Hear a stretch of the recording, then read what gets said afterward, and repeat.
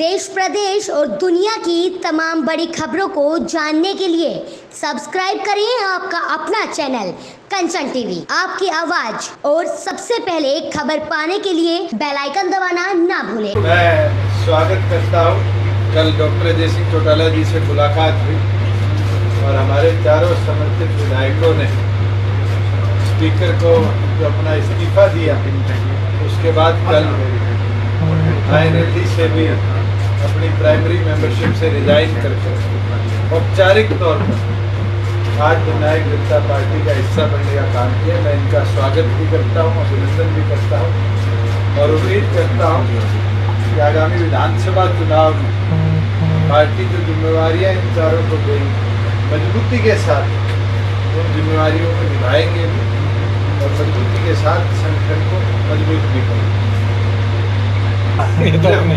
आगे बताओ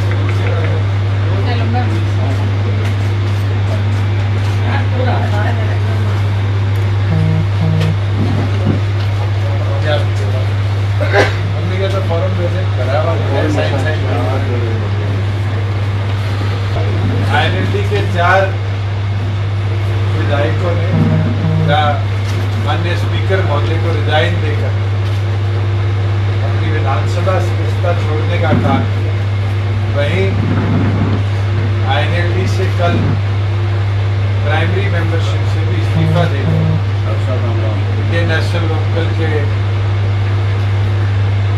राष्ट्रीय अध्यक्ष और प्रदेश अध्यक्ष को अपना इस्तीफा भेजने का काम और आज चारों ने औपचारिक तौर पर जननायक जनता पार्टी में अपनी साइन बाद में करवा लीजिएगा फ्रेम में आ रहे हैं। मैं चारों विधायकों का स्वागत भी करता हूँ यही उम्मीद रखता हूँ कि आगामी विधानसभा के हमारे चारों विधायक भाई साहब वो मजबूती के साथ संगठन को और ताकत देने का काम यह बात? प्रदेश के राजनीतिक हालात के एक विषय आप बारी बारी बारी बारी उठाते आए। एक प्रयास एक पंचायत का भी चला। इसके अंदर कई आप जैसे पत्रकार साथियों ने ये छापा भी हमारी ओर से कोई कदम नहीं उठाया मैंने क्लियरली चंडीगढ़ के अंदर एक चीज़ कही थी कि राजनीतिक तौर पर हमारा गठबंधन बहुजन समाज पार्टी के साथ। एक प्रयास कई सामाजिक लोग जो अलग अलग खापों के प्रतिनिधि हैं, वो कर रहे हैं।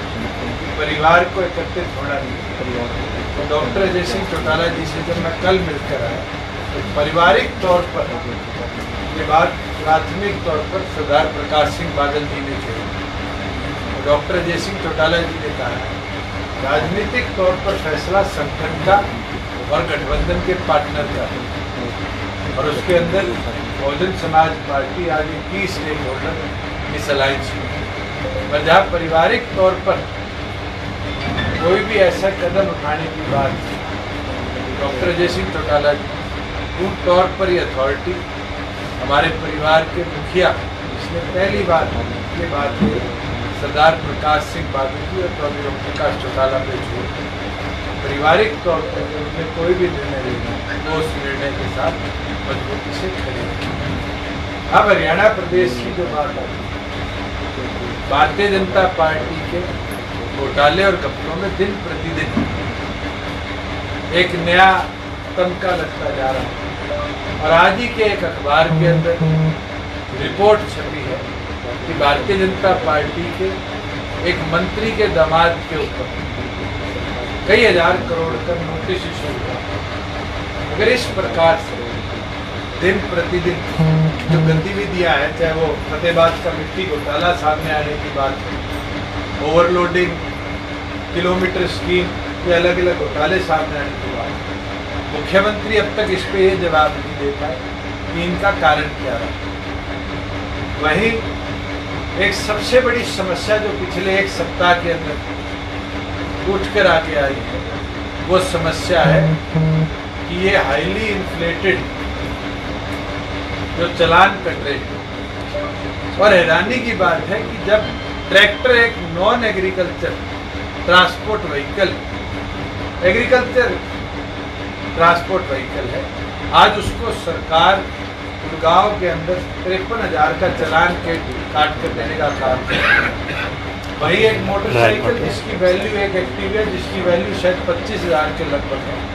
उसके बत्तीस बत्तीस हज़ार के तेईस तेईस हज़ार के चलान काटे जा रहे हैं। ये सीधी मंशा दिख चुकी कि आज जहाँ हमारी इकोनॉमी रिसेशन पे जा रही है सरकार ने आम जनता की जेब से पैसे निकालने के लिए एक नया साधन ढूँढने का काम और अधिकतम चलान जो कटे हैं जिनकी रसीदें लोगों ने सोशल मीडिया पर या अलग अलग मीडिया पर डाली उसमें एक चीज़ देखने को मिली कि मैंडेटरी है डिसोबेइंग पुलिस, उसके पाँच हज़ार रुपये का और पोल्यूशन का दस हज़ार रुपये का। और पोल्यूशन वाले बात पे तो आज से पहले सरकार द्वारा एक बार भी किसी भी व्यक्ति को ये वार्निंग नहीं दी गई।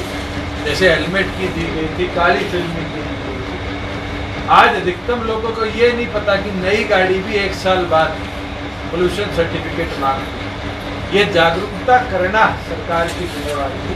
और इस तरीके से दबा कर इस तरीके से दबाव बनाकर जो आम आदमी की जेब पर बोझ बढ़ाया उसके नतीजे भी सामने आने लगे कि आपके एक व्यक्ति का जब चलान कट गया तीस हज़ार से ऊपर का, उसने अपने मोटरसाइकिल को आग लगा दी।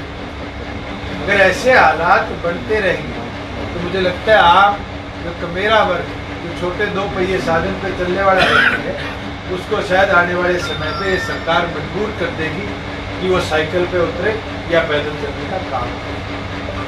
वही मुख्यमंत्री की यात्रा के अंदर, एक सप्ताह पहले तो सोनीपत में एक इंसिडेंट हुआ था, जहाँ एक व्यक्ति ने बयान दिया था अपने आप को आग लगाने के बाद कि मुख्यमंत्री ने मेरे से वादा किया कल पीजीआई के अंदर उनका निधन।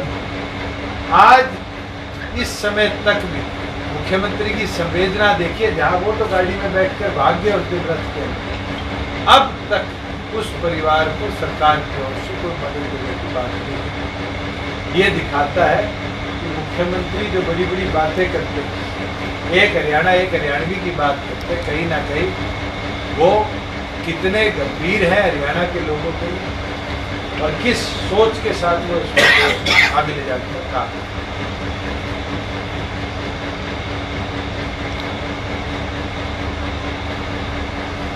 आपके सवाल?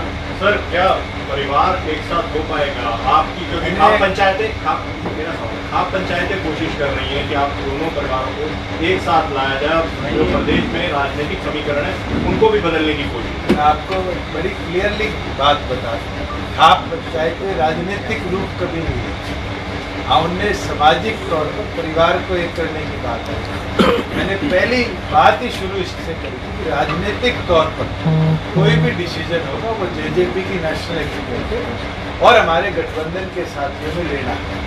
उसके अंदर कोई मैं या एक व्यक्ति लिबरल नहीं है कि वो डिसीज़न ले सके। पर जहाँ पारिवारिक डिसीज़न की बात है, अगर किसी को ये लगता है कि पारिवारिक कोई बाधाएँ बढ़ चुकी और उनकी सोच है, बादल साहब ने भी अपने व्यूज़ रखे।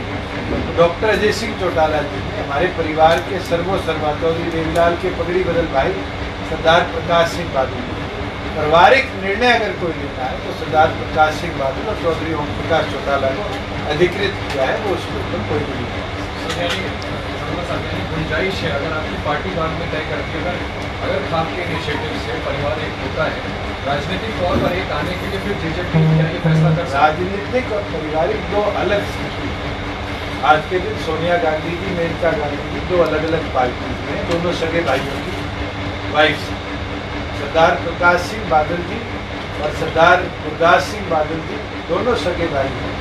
एक कांग्रेस में है, एक अकाली दल में मुलायम सिंह यादव जी शिवपाल जी दो अलग दलों में चौधरी ओम प्रकाश चौटाला जी, चौधरी रंजीत सिंह जी दो अलग दलों में राजनीतिक व्यू पॉइंट अलग हो सकते हैं। और ये केवल मात्र इन पाँच परिवारों की बात नहीं, पूरे देश के अंदर वसुंधरा राजे जी और ज्योतिरादित्य सिंधिया जी दो अलग दलों के अंदर और जहाँ पारिवारिक बात उनने करी, मैं ज़रूर डॉक्टर अजय सिंह चौटाला से मिलकर आया, उनकी भावनाओं को समझा, और वो भावनाएँ मैंने आपके सदस्यों के आगे भी रखी और आपके आगे भी स्पष्टता के साथ रखिए अगर उनके दिल में ऐसी कोई इच्छा है तो डॉक्टर अजय सिंह चौटाला ने उन दोनों को अधिकृत किया है। राजनीतिक तौर पर एका नहीं हो सकता इस बात का ये मतलब हम समझा जाए। मिल रहा है ना? लामा साहब आप पत्रकार जब हमारा किसी से अलायंस तो वो हमारे साथ इस पूरी मुहिम के अंदर हिस्सेदार है। और उसके ऊपर दस महीने पहले जिन जिन साथियों ने मिलकर जननायक जनता पार्टी का निर्माण किया जिस विचारधारा के लिए जिस सोच के लिए जिस संघर्ष के लिए इस कदम को उठाया उन सबसे विचार विमर्श किया गया और उसके साथ बहुजन समाज पार्टी भी इसके अंदर एक की स्टेक होल्डर है।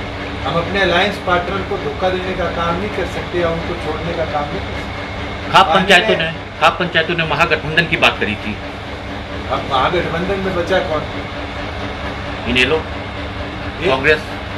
आप अगर कांग्रेस इनेलो को मिला दे तो फिर राजनीति चौटाला साहब की तो मेरे ख्याल से आगे बचेगी।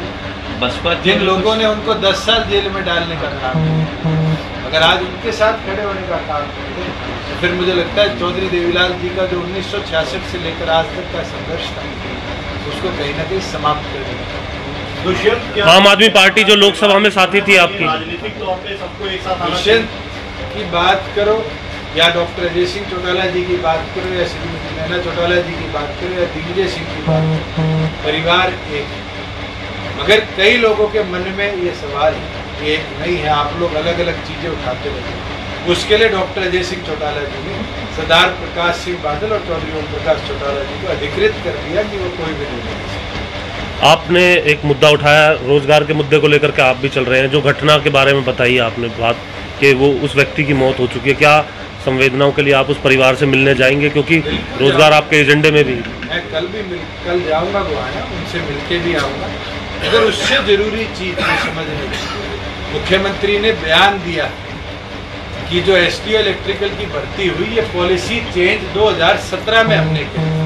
इसका मतलब तो इस सरकार का जो गुजरात मॉडल की प्लानिंग थी, वो 2017 से शुरू हुई, जहाँ 80 में से केवल मात्र तीन परसेंट, दो बच्चे हरियाणा प्रदेश के और अगर ये सोच 2017 से तो मैं तो मानता हूँ हरियाणा का जो पढ़ा लिखा शिक्षित युवा है, आज उसके भविष्य को कहीं ना कहीं खतरे में डालने का काम भारतीय जनता पार्टी की सरकार करेगी पूर्व मुख्यमंत्री भूपेंद्र सिंह हुड्डा को तरजीह दे दी गई है। संगठन में कांग्रेस में काफ़ी बदलाव हुआ। आप मानते हैं कि अब मुकाबला और खड़ा हो जाए? लाइन में समाप्त करो? पुत्र मोह में लिया गया कदम। मेरे से बेहतर शायद आप लोग दिल्ली कवर करते हैं आपको नहीं पता अगर कांग्रेस में ही रहना था और कैंपेन कमेटी का प्रधान बनना था तो लोकसभा में भी थे। फिर लोगों को क्यों 18 तारीख को भ्रमित किया? क्यों ये 36 सदस्य कमेटी बनाई? क्यों उस कमेटी की 25 से लेकर तारीख तीन तक करी? इसका मतलब तो हरियाणा की जनता को बेवकूफ़ बनाने के लिए और साथ में पुत्र मोह को आगे बढ़कर कि कांग्रेस में जगह मिले कदम उठाया। और एक अपने कहावत है, मौका चुके ढूंढनी, जावे अचड़ बचड़ तो आज ये हालत है, घूम फिर के वही आकर काम आपने बहुजन समाज पार्टी को 40 टिकट दे दिए क्या उनकी ये हैसियत है हरियाणा में 40 हैसियत उनका फैसला ना तो आप कर सकते, ना मैं कर सकता। एक संगठन है इस देश के अंदर संगठन उनका कोई आज से दो दशक से ऊपर से खड़ा है। जिस सोच के साथ मान्यवर काशीराम जी ने उस संगठन को खड़ा किया था, आज भी तो मेरे वर्ग की वो लड़ाई लड़ रही और हम उनके साथ एक नहीं नाइन्टी वन में चौधरी देवीलाल जी ने जब बाबा साहब भीमराव अंबेडकर का पार्लियामेंट के अंदर स्टैचू लगवाया था या उस समय भारत रत्न के लिए प्रस्ताव लाने का काम किया उस समय से हम मिलते आए बिल्कुल परिस्थितियाँ राजनीतिक तौर पर उनका हरियाणा के अंदर मूवमेंट लिमिटेड रही 96 में उनका सांसद भी बना एक एक दो दो विधायक भी बनते आए हैं, निरंतर बनते आए हैं। अस्तित्व किसका क्या बढ़े ये किसी को नहीं पता भारतीय जनता पार्टी किसी समय पर दो सांसदों की पार्टी आज 303 की है, और कांग्रेस 411 की पार्टी हुआ करती थी। आज लीडर ऑफ़ अपोजिशन भी नहीं लेते तो राजनीतिक हैसियत तय करना ना मेरा काम है, ना आपका काम है, जनता का काम है। जनता अगर देखेगी कि राजनीतिक हैसियत किसकी कितनी बड़ी है? मत के अधिकार से उसको कुछ। बैठकें कर ली हैं बीएसपी के साथ आपने प्रोसेस बताया था वो 11 तारीख से शुरू हो रहा है जहाँ आइडेंटिफाई करेंगे कहाँ बीएसपी लड़ेगी कहाँ जेजेपी हमारी लगभग चर्चाएँ हो चुकी हैं आइडेंटिफाई भी हो चुकी अब तो ये है दोनों मिलकर मज़बूत कैंडिडेट निकालें मगर जैसे ही कोड ऑफ़ कंडक्ट लगेगी हम आपको हमारी सीट शेयरिंग के साथ साथ कौन कौन सा कैंडिडेट कहाँ का सारी डिटेल एक चमत्कारी पार्टी आपके साथ लोकसभा चुनाव में भी थी आम आदमी पार्टी वो भी अब तैयारी कर रही है हरियाणा। उनका निर्णय था। मैंने तो ये चीज़ आप लोगों ने पूछी थी उन पर छोड़ी थी वो राजनीतिक तौर पर जो भी निर्णय लेंगे और उनके प्रभारी ने कहा था कि हम अकेले चलेंगे। और उसके बाद हमने ज़रूर बसपा के साथ अलायंस किया। तो मेरी तो शुभकामनाएँ। मुख्यमंत्री के लिए गठबंधन को डिसाइड होने चाहिए। आप कोड ऑफ़ कंडक्ट लगा दो चेहरा भी आपका। निशांत भाई ये मान लिया जाए कि बसपा और जेजेपी ही चुनाव लड़ेगी कोई और ऑप्शन तो नहीं ग्यारह तारीख को ही बता दिया। नहीं इनेलो के साथ किसी तरह से क्लियर है कि गठबंधन या किसी तरह मैंने कहा था कि किसी महागठबंधन का हिस्सा नहीं बने। मुझे लगता है इस सवाल के ऊपर चलते हैं हमारे सबसे ठीक है। हमारे सबसे बड़े नौकरी में पारदर्शिता की बात कर दी जाती है। तो क्या हाँ, हाँ। हरियाणा के जो लोग हैं उन्हें उनका हक मिल पा रहा है या एक सेकंड हो हो। खत्म होने दो आज दो के मिनट दिन- खत्म हो गया जब आप एस इलेक्ट्रिकल के अंदर हरियाणा के दो बच्चों को भी इम्प्लॉय कर नहीं कर सकते तो क्या वो पारदर्शिता है? ये तो केवल मात्र गुजरात मॉडल को हरियाणा में इम्प्लीमेंट करने का प्रयास है। शुरुआत हो चुकी है। और अगर इसी तरीके से ये पॉलिसी फॉर्मेशन और पॉलिसी चेंजेस लाते हैं, मैं ये मानता हूँ अभी तो बिजली विभाग से शुरू हुआ है। आने वाले भविष्य में हरियाणा प्रदेश की सारी नौकरियों में हरियाणा के युवा को नहीं, बल्कि और युवाओं को आप देखने का काम